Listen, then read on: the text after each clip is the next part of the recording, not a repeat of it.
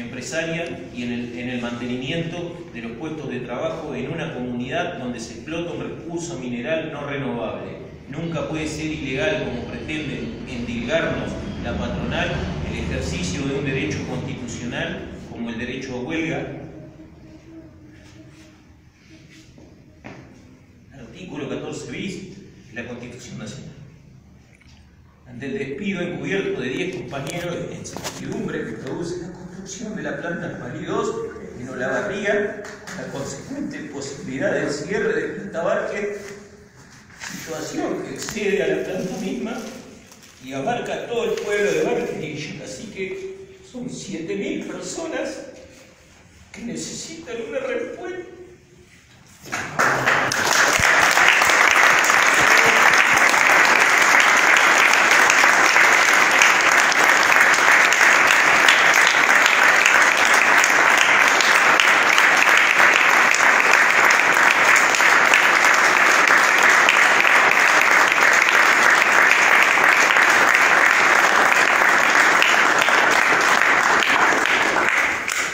Un gremialista maricón, muchacho, el primero que existe en la historia. Terminada Vamos, de fuerza, fuerza, Martín, Mi vamos. hermana.